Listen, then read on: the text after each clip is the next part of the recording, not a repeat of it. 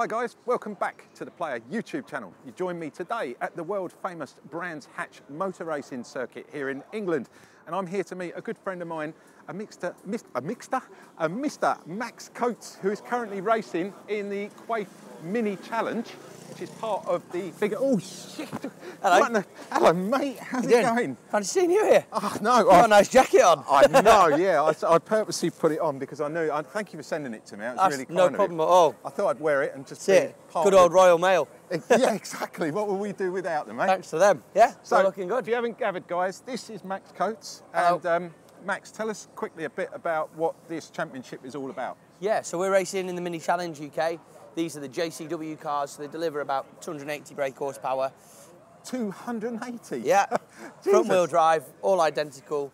Wow. So yeah, there's 30 of us on the grid, and uh, it's pretty close racing. So Yeah. we're always racing on the British touring car events. It's always a bit of atmosphere. Yeah, yeah, yeah. And uh, yeah, they're, they're a handful to drive, as you probably be about to find out. Yes, I, well, we've been. I've sort of been following you on the TV, um, Yeah. watching it because it is televised over here. Um, Absolutely. And it's it's just fabulous seeing how fast and how close the racing is. Yeah, the, these are pretty quick little pocket rockets, really. What made you want to get involved with the minis as against another, you know, type of car, another so series? prior to doing the minis, I used to do the, the Renault Clio Cup. Yeah. And was uh, was a front runner in that, and the Clio Cup left, and the Mini filled its slot. Ah, so right, really, okay. it was a case of a continuation. Yeah. Um, I've looked at other series, Ginettas and that kind of thing, but the, the Minis is probably follows slightly more of what I want to do with with uh, with a with a, a view on British touring cars as my future. Because I actually met you, didn't I, in Ginettas? Yes, so I raced the player car way I back when in 2015.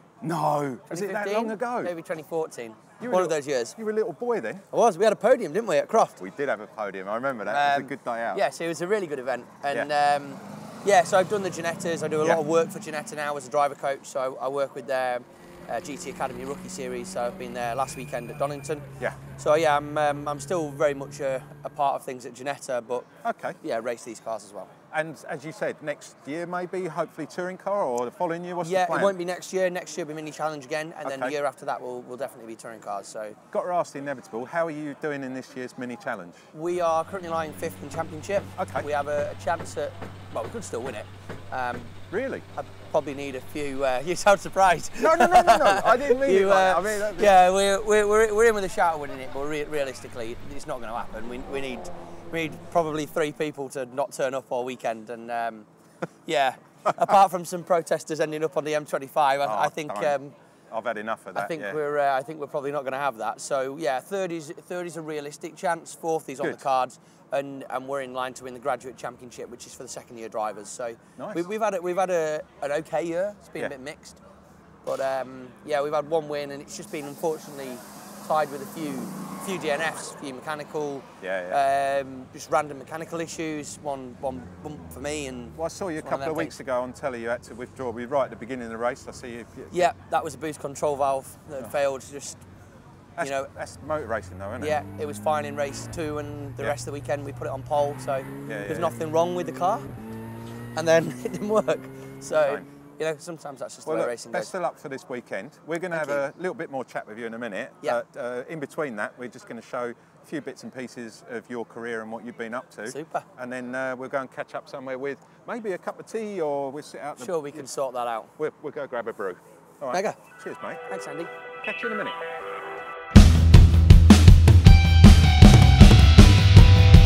Max Coates propelled himself into third ahead of WDE Motorsport pair Patterson.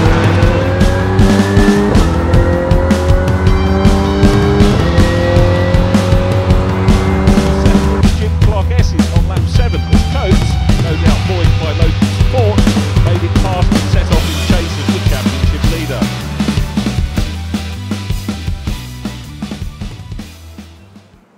So um, this is uh, Max's new race car.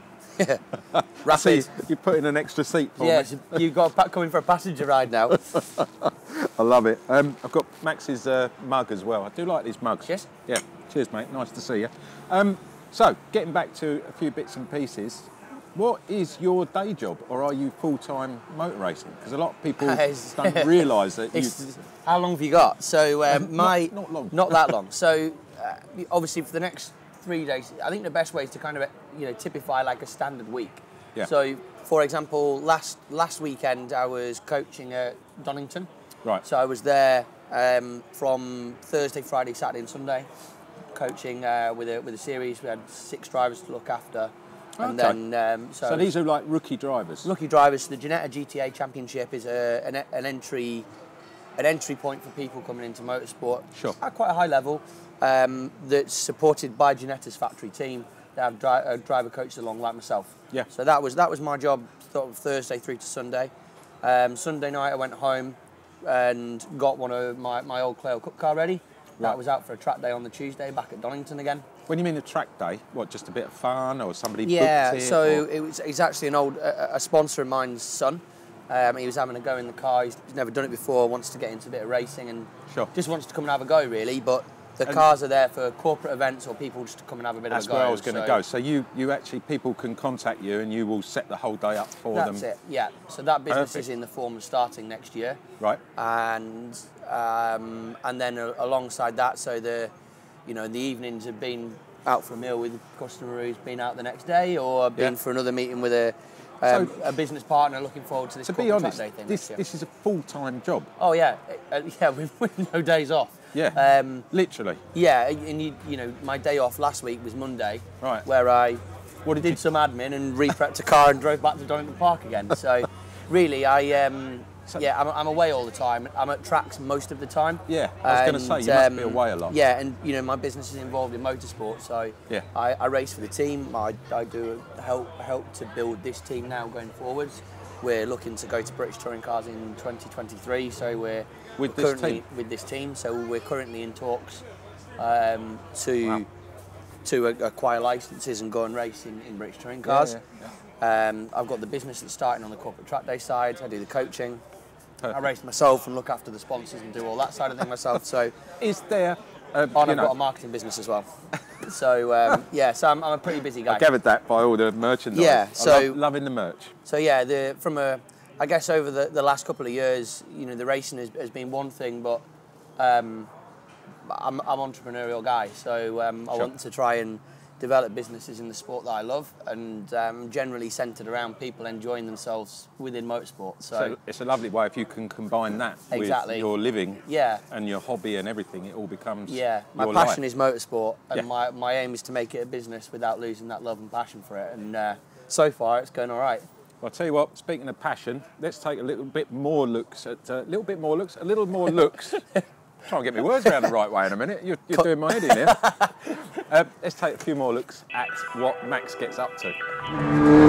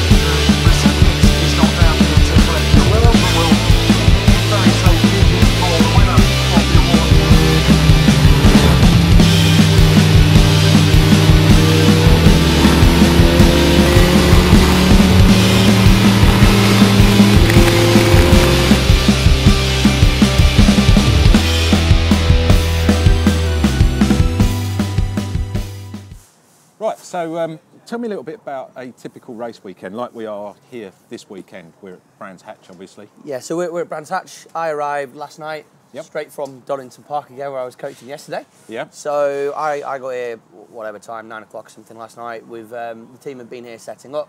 Today, Friday, we have two practice sessions. So we Right. had one uh, sort of eleven o'clock, and then we'll have another one at probably half past three, four o'clock this afternoon. So it's just a chance to fine tune the car, make sure everything's working, and and for drivers to learn the circuit. Yeah. I'm doing less of that now because of I've driven them, so uh, I know the tracks. I've got to ask, just the car. interrupting, how many times have you driven Brands Hatch? Do you reckon, roughly? I- I will have done in excess of a thousand laps of the track. I'm fairly Really? sure. Yeah, yeah. Wow, that's, Yeah. that's a few years. Yeah. Anyway, sorry, I um, interrupted you. I was just curious. Yeah, well, I mean, I've, I've been racing on this package for 12 years, um, 11 years, and each year we've come to Brands Hatch twice. And done three days at Brands Hatch each year. So I'll have done 40 odd days here. So yeah, it's not inconceivable to think that there'll be a, a couple of thousand laps within that. That's amazing. Yeah. And on a typical race weekend, how many sets of tyres would you go through? Say on a dry weekend. Yeah, so we, we have a fairly tight tyre regulation within the mini challenge. So we're allowed six new tyres. Over Six sets or six. six new tyres. Not That's it? sets, just tyres. Right. So generally, we try and save them through to the racing rather than use them on the test day. Yeah. So today we're using older tyres. Okay. So we're allowed to carry 10 and six new. Okay, so you've got 16 tyres all in all. We've got 16 tyres all in all. Yep. Generally, we want the, the, the new tyres for the front because that's what's doing all the work. Sure. And we'll try and carry over some rear tyres from the, the other 10. I was about to say the, the Mini is obviously a front wheel drive car. Yeah. Um, but on the, the actual the setup, all the power's going to the front, I presume. Exactly, yeah. So then- front wheel drive, power's all at the front, Yeah. steering's all at the front. So you're going to eat your way through tyres. Yeah, we eat, we eat our way through, particularly a left front on a right-handed circuit. So that's the car, that's the tyre that's doing the most amount of work. Yeah. And equally, the rears don't do as much because they're just following it around. Sure. But it's important to have a good rear tyre so that the car doesn't break away when you're when you're trying to corner. I have noticed in some of the um, when I've been watching it on telly, you get a really good idea of you when you go into a bend. Sometimes the rear actually lifts off the floor, doesn't it? Yeah, yeah, Which- that's right. So, you're only on three wheels. That's because there's actually there was actually a picture at Croft this year where I was on one wheel. on one wheel, so you could see daylight under under the three three other wheel's. So the front left was the only wheel touching the floor. That's mad. So um, yeah, I'll have to I'll have to send you that picture so you can put it on the video. But yeah, if you, if you look close enough, you can see daylight under the other three, and that's uh, that's how much the car is working and pitching in the Yeah, corner. right into. So sorry, carry on about the weekend. So uh, Yeah, so we'll move through into Saturday, and Yeah. that will be a qualifying and a race. Yeah. This weekend, and then we'll move through into Sunday where we'll have two races. Okay. So the first race this weekend is just before the first touring car race. Right. So that one won't quite be live on the telly. And then this, our final race of the weekend is a reverse grid race, the reverse between sixth and tenth. Oh right, And, okay. and then that will be that will be on live on telly on uh, on Sunday afternoon. So you're qualifying on the Saturday. So we qualify on the Saturday. Yeah. Our fastest lap time is is race one's grid Yep. position. Mm-hmm. Race two grid position is off the first race's finishing position, Right. and then the sec the third race is off the second race finishing position with a swap between sixth and tenth, depending on what number we pick out of the hat. Oh, that basically. thing. Yeah, So I remember. It brings a little bit of controversy to it, and it, it makes it quite exciting. To be fair. Yeah, certainly does. Um, Yeah. I was going to say something then, but I'm going to veer away from that. Yeah. It's to do with touring cars. but we'll let that one go until you're involved with touring cars. Um, speaking of touring cars, this is part of the TOCA package, isn't Yes. it? Yes. And that is touring cars, Mini, Porsche Cup. Yeah, Porsche Carrera Cup GB, the Ginetta Super Cup, so the bigger Ginettas. That's it, The Ginetta yeah. Juniors that I, I raced in first of all. Yeah. Uh, the Formula Fours, and us as a mini challenge. And yeah, that so is quite a nice Yeah. balance of cars, different types of yeah. cars. Yeah, and as a bit of a fact for you, I think in this paddock I'm the driver who's driven more cars than anybody else. Really? Yeah. More different More different cars. yeah. So I've driven a front and rear wheel drive touring car. Okay. I've driven the Minis, the Clios, the Porsches in the generation before this. yeah. the Ginetta Juniors, Yep. Ginetta Super Cup in both G50 and G55 variants. Wow. Um, I just the only thing I haven't done is a single seater, and to be honest, I haven't really got that much interest in doing so. No, I don't think you've ever been a single seater man. No, it's not. I'm a, I'm a racer, and um, Yeah. I love the racing that, that touring cars provides. So that's that's that's my that's my goal. That's my aim. Let's um, take a little bit more. Um, I was going to say, let's take a little bit more looks. Let's take some more looks. let's take some more looks, darling. let's take some more looks at what he does. I like that. We're going to keep that expression. All the podium position settled, the race itself was far from over as Coates began to close on Bushell.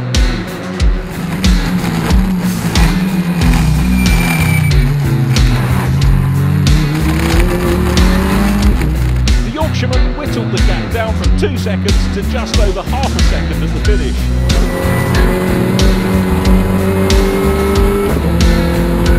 Coates also securing the fastest lap, but ultimately it was a reversal of the 1-2 from last year's race in the same season, with the championship leader taking the win from Coates, with Rivet third and Colburn in fourth.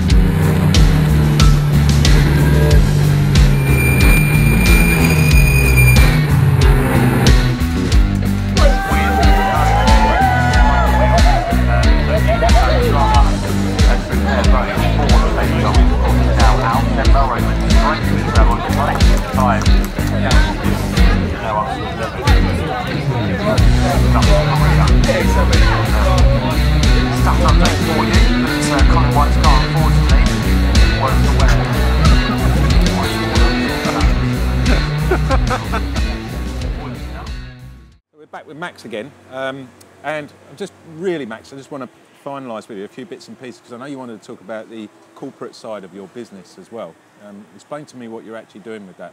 Yeah, so obviously to go racing, we have to have a number of sponsors. Yeah, And uh, the, the business side of me away from here is that I do a lot of driver coaching. yeah, So the, the natural thing is that you try and merge the two together. So as well as people being able to come and have a, a day out of the racing, I want people to be able to experience what I do.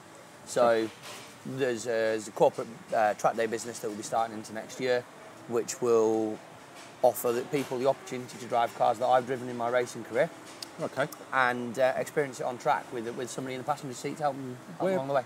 Yeah, I was going to say, I mean, obviously, it, there's just you. Will you have other drivers aiding you? Yeah. And- okay, and these are obviously Yeah. people, your friends and, Yeah, friends and colleagues that are in the in that coaching world. So and cars. Will you buy them or you rent them or? Yeah, we'll, we'll buy the cars. So um, in the process of sorting that out with an investor at the moment. Uh, yeah, so we'll have some, some pretty cool cars. Not 100% sure what we're going to be uh, getting yet, but uh, Don't spill the beans yet, even no, if you do we'll know. uh, yeah, we're, we'll, we'll we'll get there first. But Will yeah, they it's going to be- be pretty exciting. race cars or will they be road cars? No, there'll be race cars. We're, we're very adamant on that. that Proper um, race cars? Yeah, proper race cars. We don't want to mess around and have, have, have road cars. Um, the experience of driving on track should be in a race car. So Absolutely. that's that's what we want to do. You know, they need to be stiff. They need to sound raw. They need to have a proper gearbox. They need to Yeah. be fast and um, and sound the part. So that's what we want.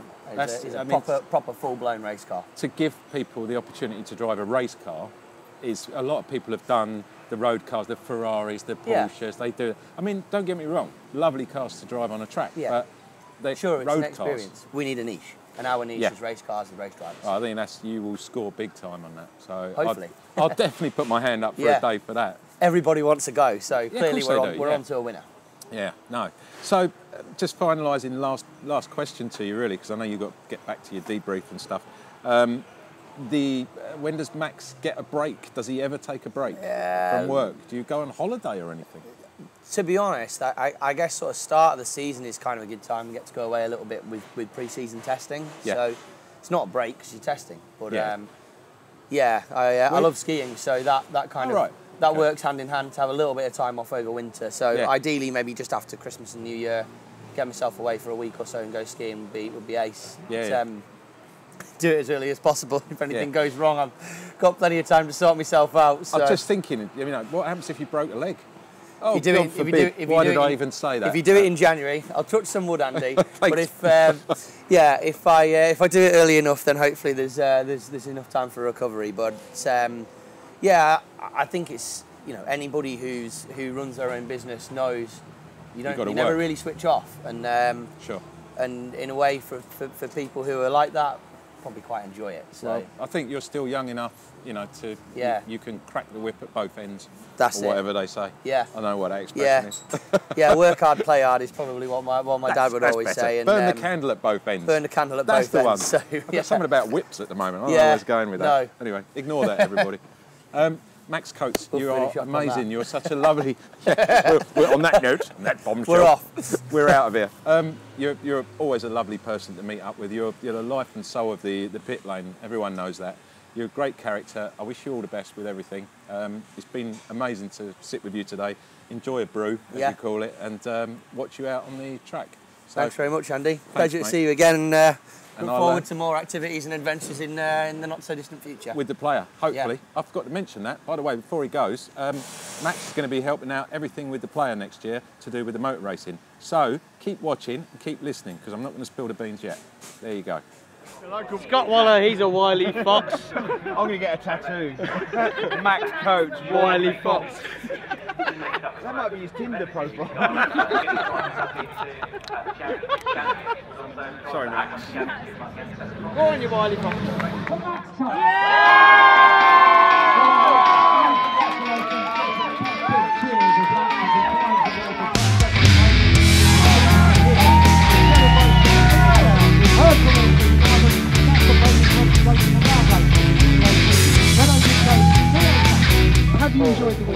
Well, the weekend's been fantastic. Uh, some good racing as usual from all the series, uh, especially the Clios. We've had some good, two good races yesterday. Max, uh, along with Dorling and Rivette again, very good uh, battle between those. And again today, the same thing. In the atmosphere again. Uh, there's got to be close to 40,000 plus again here, uh, which makes for a brilliant atmosphere. Um, so yes, uh, and again, close access to the teams uh, and everything like that is really good part of the touring car package uh, overall. So yeah, but we're, we're packing up. This is Andy Wilmot, who also races in Player Cup. He's stolen my hat and he's having an ice cream. and I'm a big fan. He's a big fan. So it's kind of appropriate to end with a big fan in Wilmot and uh, Wilmot. So um,